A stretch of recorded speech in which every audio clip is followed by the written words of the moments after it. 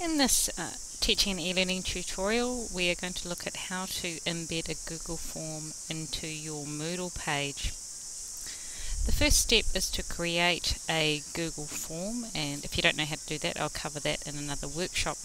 Once you have created your form you need to make sure that the three boxes to the top left are unticked so those boxes should be clear. Then you will go over to the box at the top right hand side and select embed. That will give you an embed code. You need to right click your mouse and select copy. Once you have done that you need to move to your Moodle course where you would like to embed the Google form. So I have selected my 13 English AM course and I am going to make sure that the editing is turned on in the button in the top right hand corner. So you need to be logged in and you need to turn your editing on.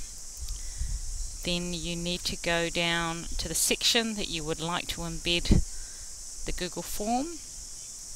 Click on the add a resource drop down box and select label. Once you are in the label, adding a new label section, you need to go up to where it says HTML over here and change it to HTML. At this point you right click your mouse and click paste and your embed code should then appear. Once that has happened you need to click the update button and then you should see a um, preview of your questionnaire in the box or your Google form and then click Save and Return to Course. This should have successfully embedded your Google form into your Moodle page.